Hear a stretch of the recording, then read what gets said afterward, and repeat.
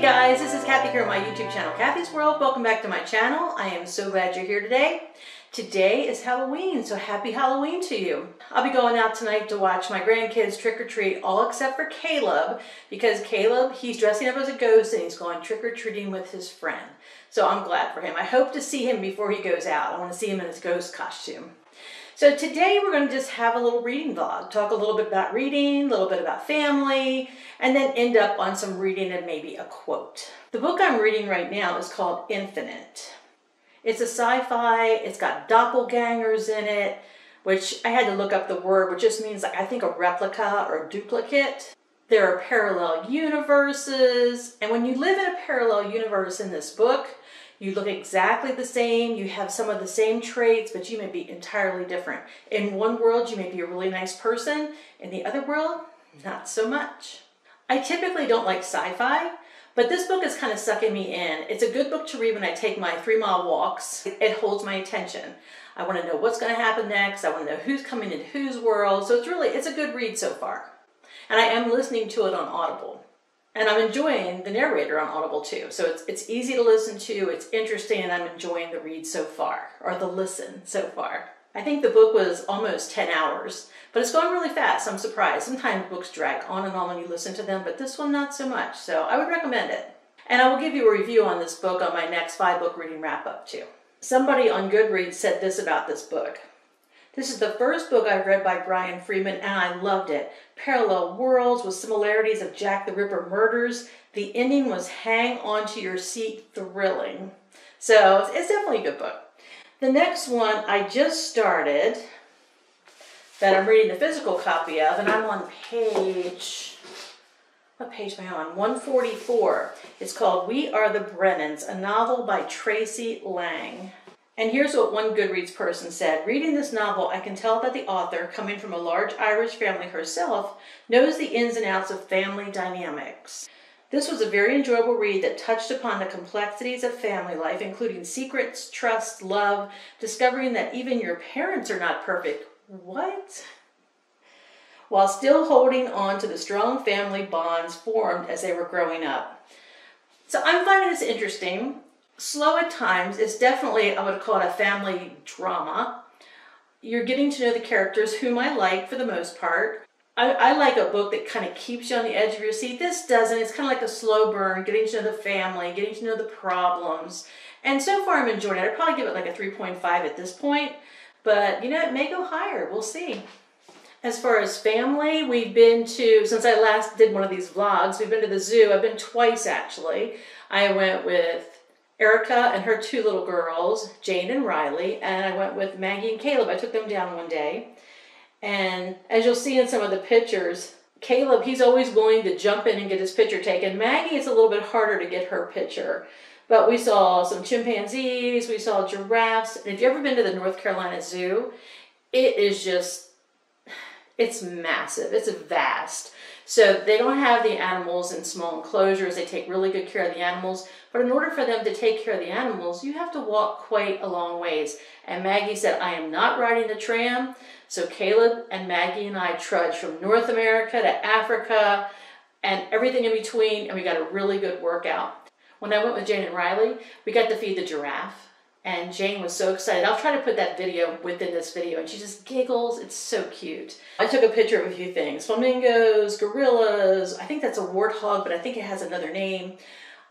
Rattlesnakes, ostriches, giraffes, and some kind of skink, I think. And then we also saw chimpanzees, which they're always very active, if you know what I mean.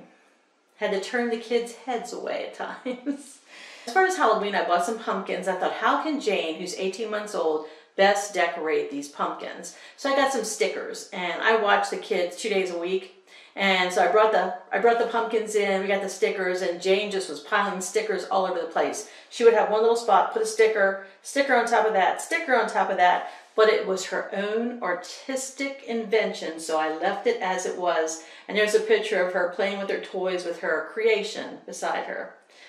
Uh, Riley was over and she had a little cat outfit on and I had cat ears for my costume, so I stuck the little cat ears on her. It looks so cute. When Maggie and Caleb spent the night with me last weekend, I believe it was, they had a Halloween event in my development. So we went, and one thing they had was a cakewalk. And I really, I'd heard of cakewalks, but I really had not done one before or really known what it was. So Maggie, Caleb, and I, we decided to participate in the cakewalk.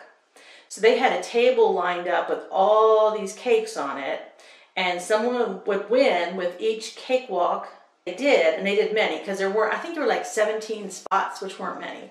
So you start off on a number, and the music starts. You walk around, walk around, and when the when the music stops, you stop on a number.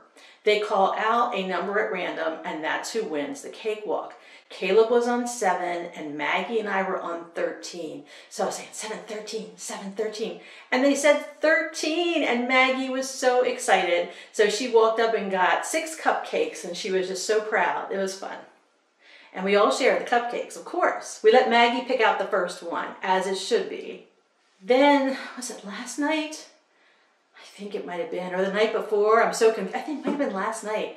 I went with um, the Von Cannons. I went with Erica, Josh, Riley, and Jane to Hillsborough, North Carolina, where they were having a big Halloween event. All the stores were participating. People were handing out candy. There were decorations. There were pumpkin carvings. It was so, so nice. The police station there, they had um, a trunk or treat all set up and they were giving out candy and it was just so nice. It felt like a real community. I thought I want to live there. Just really, really nice. Jane was dressed as a tiger and she goes roar.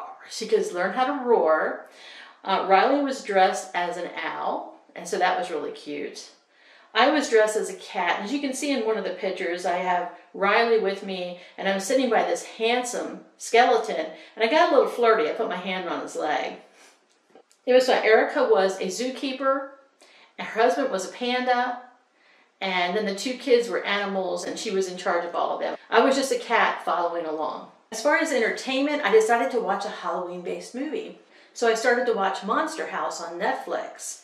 It's a good movie. It's slightly dark. Let me read what it says about it. No adults believe three youths' assertions that a neighboring residence is a living creature that means them harm. With Halloween approaching, the trio must find a way to destroy the structure before innocent trick-or-treaters meet ghastly ends. So it was it's a good movie, but like I said, it is dark. I don't know that Caleb might be fine with it, but Maggie's a little bit too young for it. I put a trailer on my blog, which I'll link in the description box for you so you can take a look at the trailer if you're interested. But like I said, it's a good movie. I would oddly call it kind of a love story. I don't know if you've seen the movie Up. Now that was a love story. That was adorable.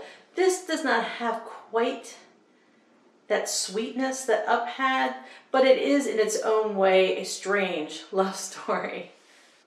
On Hulu, I'm watching the miniseries. It has Michael Keaton in it. It's called Dopesick, and it's all about the opioid crisis and Oxycontin. And oh my, it is so good. I think I've watched four or five episodes, and I read somewhere that there's eight total, so there's still more coming. But if you have any interest in the opioid crisis and Purdue Pharma and what happened with that, it's really, really interesting to me. And I can look back and see some of the things that happened. I'm a nurse, and the years this was happening, I was nursing, and I, um, I guess I was there when they developed the fifth vital sign, which is pain because we would in the emergency room we'd always use a scale of 1 to 10 where's your pain level? They use that purdue pharma used that in order to up the amount of oxycontin you were taking. They also coined the term breakthrough pain which i've heard it seems like forever but they would use that and say if you had breakthrough pain that you need to up your dose. That's the only problem and they would they were very adamant that this drug was not addictive. It it's crazy to me that that was even allowed to happen. And you're seeing people trying to, you're seeing the addiction start, and you're seeing people trying to fight Purdue Pharma, and it's, it's really an interesting show. And here's how the New York Times describes the show. A Hulu miniseries traces the story of OxyContin from the offices of Purdue Pharma to the examining room of an Appalachian doctor played by Michael Keaton, Dopesick, Hulu's ambitious and intermittently compelling miniseries about the role of Purdue Pharma in the opioid crisis, is built around the theme of pain. I found it very interesting. I'm excited to continue watching it. My next upcoming read, This is a brand new book for the month of November. It was just released. It's called The Fortune Cookie Writer by Nina Navisky. Navisky? Navisky, I think that's right. Nina, Nina Navisky writes with a warm hand that leads readers into thought-provoking moments with its delicate probe into the circles of life, restarts, and the process of discovery. The Fortune Cookie Writer will delight. And this is about a woman who's been through a divorce and now she's broke. She works by day as a dog walker and at night she writes fortune cookies. And then someone offers her a job making meals for an elderly lady. And she gets to know this elderly lady who has a piano in her apartment and she gets to know her a little bit. In the meantime, she has a son who's musically oriented but seems to have some issues. They call them peculiar behaviors. And I think it's all going to come together this lady has a piano in her apartment. Her, uh, this woman, Marissa is her name. Marissa has a little boy who's musically gifted, and I think they'll somehow come together to help one another, is what I'm hoping. So I'm divorced, so I think that's kind of what I wanted to read about her new beginning, her new start. This book to me sounds inspiring, so I'm looking forward to reading this. And I will leave you with a quote. This is a quote, a book I read last time, and I'll link my five book reading wrap up in the description box for you in case you want to hear about the books I read last month. This book is called The Whisper Man. And here's a quote from The Whisper Man. It's kind of scary book. It was great for October. Courage is not the absence of fear, Pete knew. Courage requires fear. Makes total sense to me. I mean, how can you be courageous if you're not afraid to do something? You have to have a little fear in order to be courageous to go out and conquer that fear. So I like that quote, and it really fits the book too. All right, guys, that's it for my reading and more vlog. I hope everything is going well in your world. I'd love to know what you're reading. I'd love to know what you did for Halloween, and I will see you next time. Take care. Bye-bye.